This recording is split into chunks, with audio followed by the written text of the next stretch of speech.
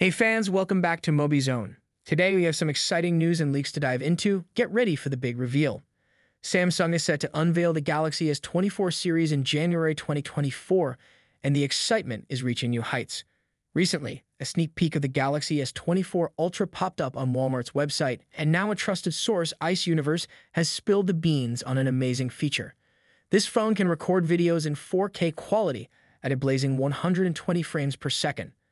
The S24 Ultra is shaping up to be seriously impressive. Anticipate a 6.8-inch AMOLED screen that's not only super bright, but also silky smooth with a 120 Hz refresh rate. Powering this powerhouse is the fast Snapdragon 8 Gen 3 chip, and you'll have different storage sizes to choose from, going up to a massive 12GB slash 1TB combo. Now let's talk cameras.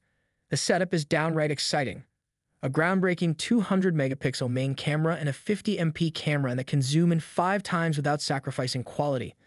The phone itself is built tough, boasting a titanium body and robust Gorilla Glass. The night mode has leveled up too, thanks to AI making 12 types of objects in photos look clearer and nicer. Eager to see more of the Galaxy S24 Ultra? Are you excited about the potential upgrades? Drop your comments down below.